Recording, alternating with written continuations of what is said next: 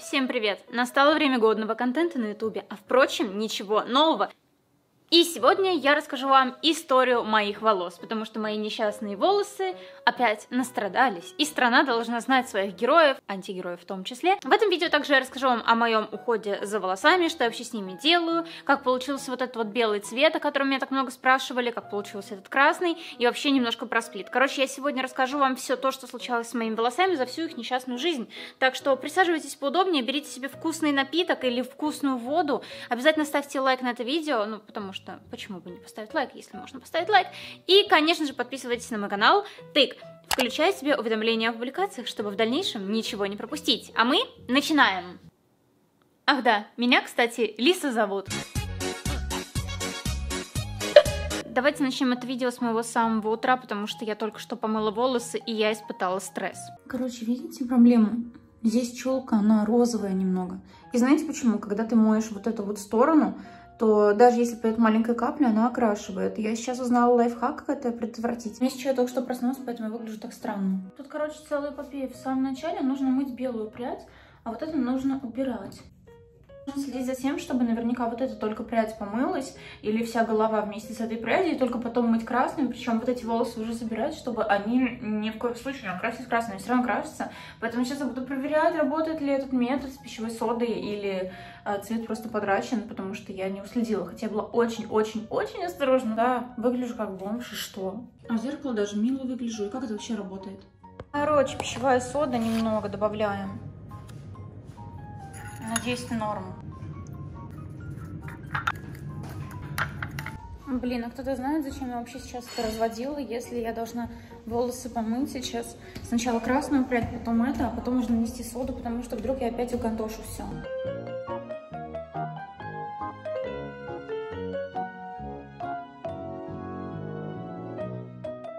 Просто, чтобы вы понимали, это я воспользовалась полотенцем для вот этой вот маленькой прядки.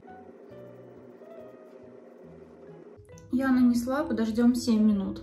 Прошло 7 минут, тут никакой разницы не вижу, но смываем. То, походу, ты реально усрал. А жаль. Ну ладно, сейчас посушу и все. Кстати, с сушкой тут тоже целая эпопея, потому что это нужно закалывать, это нужно сушить в первую очередь, все остальное во вторую.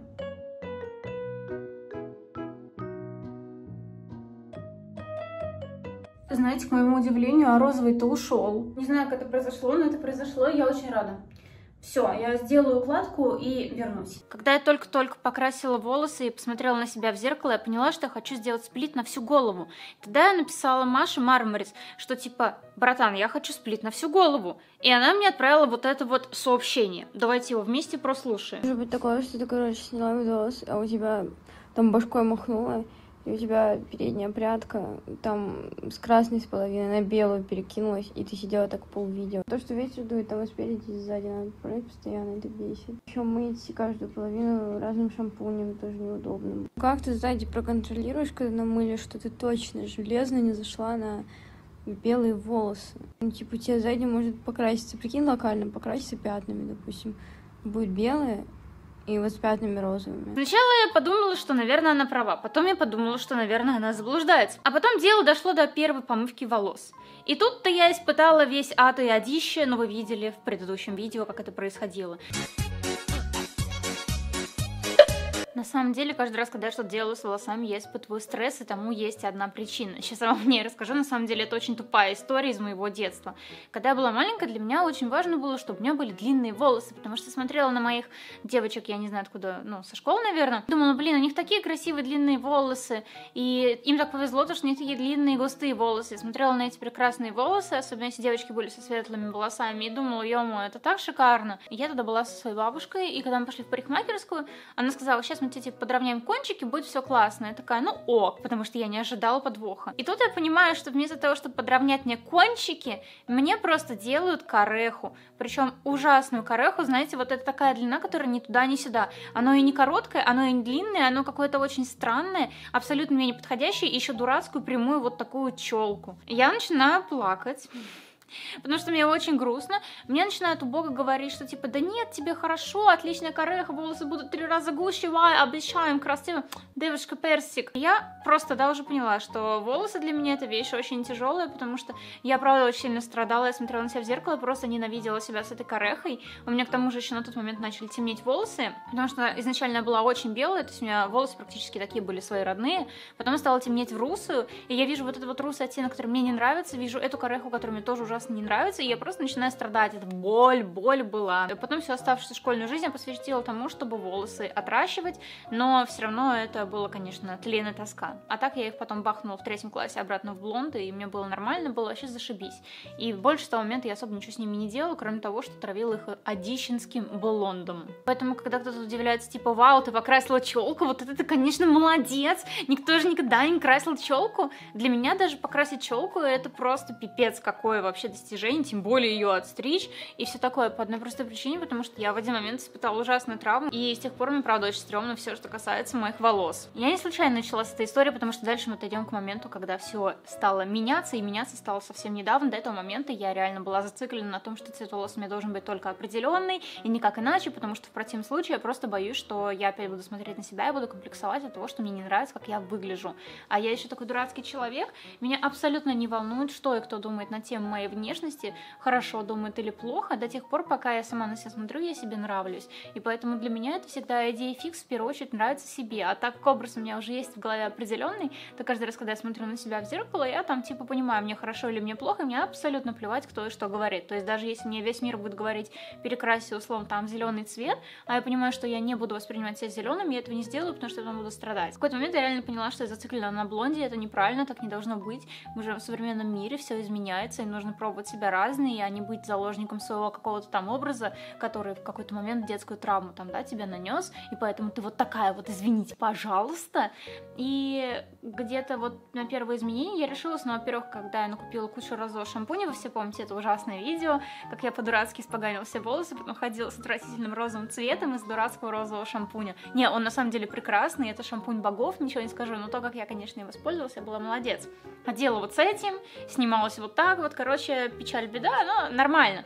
Меня это не сильно травмировало, потом я все это смыла, у меня были крашеные розовые концы, и потом, когда я летела из Сингапура уже домой, уже в Москву, это было где-то в феврале, как раз до того, как случилось то, что случилось, я сидела в самолете, я просто фотошопила себе фотографию вот эту. И мне не нравился цвет волос, который получился, потому что, видимо, на солнце они выгорели, стали какими-то дурацкими. И я подумала, блин, может быть, попробовать сделать волосы чуть-чуть потемнее, сделать их более под мой натуральный, потому что мой натуральный, ну вот он, собственно, такой есть, как вы сейчас видите, там только более холодного подтона.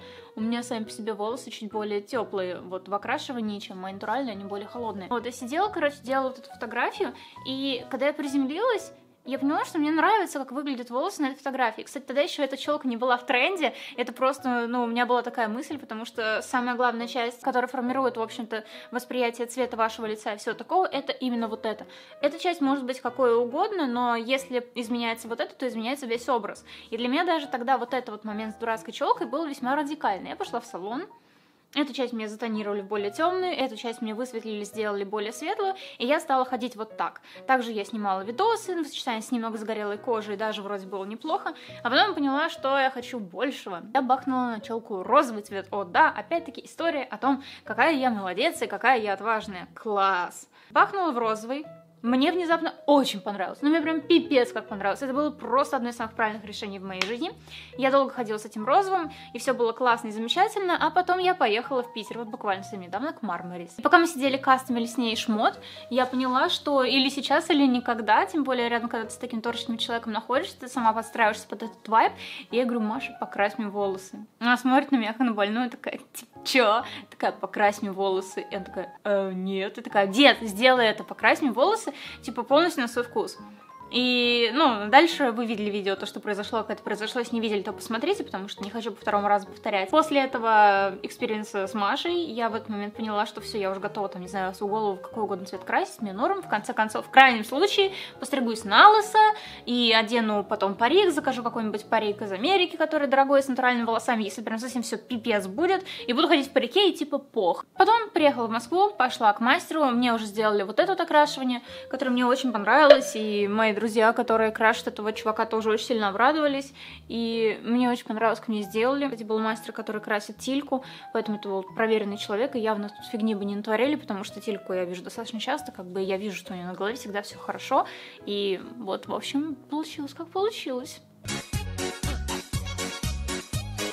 По поводу ухода за волосами. Ну, во-первых, давайте начнем с того, что у меня волосы нарощенные. Я ношу ленту уже более одного года, я полностью довольна. Я изначально согласилась на наращивание волос в тот момент, когда я испортила мои волосы в ночи окрашиванием. Я была молодец, я это признаю.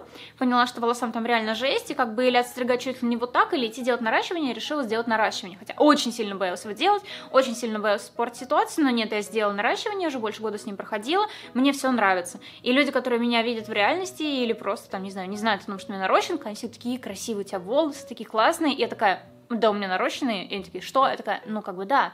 Э, что? Я такая, да! Класс, общаемся весело. Пользуясь случаем, мои натуральные волосы вот такой длины. Пользуясь случаем, мои нарощенные волосы вот такой длины.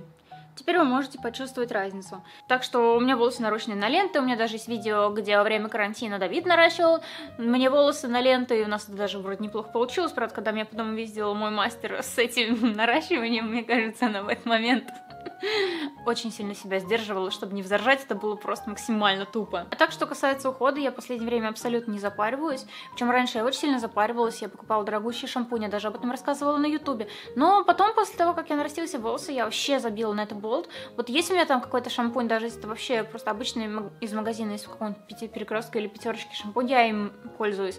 Масло, бальзам, вообще один фиг, я пользуюсь, мне абсолютно нормально, я перестала абсолютно напрягаться, и мне ок. Единственное, что у меня появилось из хорошего, хорошего. Это мне подарили на день рождения дорогой фен, который Dyson. Да, здравствуйте, это не рекламная интеграция, он, правда, оказался классным, и меня устраивает. Единственный минус по сравнению с моим другим феном, который у меня был до этого профессиональный, он слишком долго сушит. По крайней мере, нарощенные волосы — это пипец. У меня тупо на сушку этим феном уходит от 30 минут. Я считаю, что это, конечно, очень долго, поэтому, как правило, в последнее время я мою волосы, я занимаюсь своими делами, и потом, когда они станут уже, ну, такими вот чуть-чуть влажными, только тогда я иду их сушить, потому что иначе, ну, блин, это реально 30 минут своей жизни нафиг надо.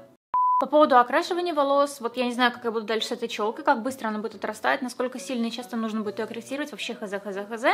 Но до этого, когда я покрасила волосы более здесь темные, здесь у меня были мои розовые пряди, я их самостоятельно тонировала дома в розовый цвет, опять-таки при помощи японского розового шампуня, и где-то раз в полтора месяца я ходила на подкрашивание в салон, чтобы мне здесь тонировали красиво, чтобы мне здесь тоже там корни обесцвечивали, но в целом вот этот вот розовый цвет, который был здесь, его я добивалась сама при помощи розового бальзама и шампуня. Еще хочу отметить в плюсы нарощенных волос, это то, что ты можешь не париться делать абсолютно любую укладку. Я как блогер, как человек, который постоянно что-то делает фотки, видео, то есть это вот все, я очень часто делаю укладки, я очень часто травмирую свои волосы, и я поняла, что я, наверное, бы с такими темпами мои натуральные волосы, я бы их просто уничтожила бы в ноль, несмотря на любую защиту, но из-за того, что они нарощенные, я просто себя чувствую свободно, если там хочу делать какую-то лютую укладку, я ее делаю, вообще не парюсь. Плюс она держится где-то по три дня, это тоже круто, так что вот так.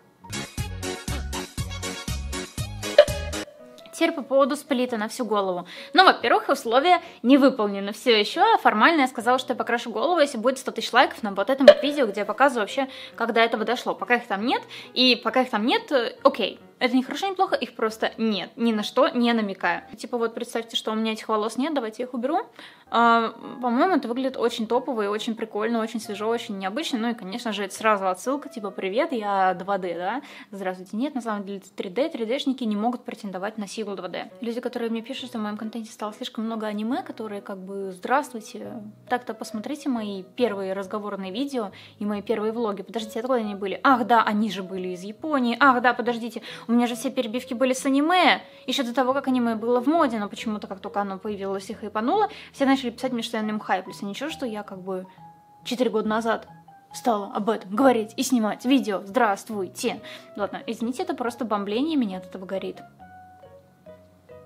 нужно реально танцевать с бубном, и я даже не знаю, бубен, наверное, будет проще в танцевании, чем поддержание этого прекрасного цвета, потому что одна капля красного, попадающая на белое, делает ваши волосы внезапно розовыми. Такая вот магия. Избежать этого тяжело. Мне посоветовали лайфхак. Я им воспользовалась, это было удачно. Так что я не знаю, что буду делать, если видос наберет 100к, и мне придется красить волосы, а я сказала, что я это сделаю, значит, я это сделаю, поэтому остается только молиться, что оно не наберет 100к лайков, потому что, честно, мне нравится, как выглядит, выглядит очень необычно, очень долбануто, для меня это синоним хорошо, и я довольна. Так что вот такая вот у меня короткая история моих волос получилась, я надеюсь, что вам это видео понравилось, обязательно ставьте лайки, лойсы, классики, пальцы вверх, подписывайтесь на мой канал, если еще не подписаны, и муа, всем спасибо за просмотр, и всем пока!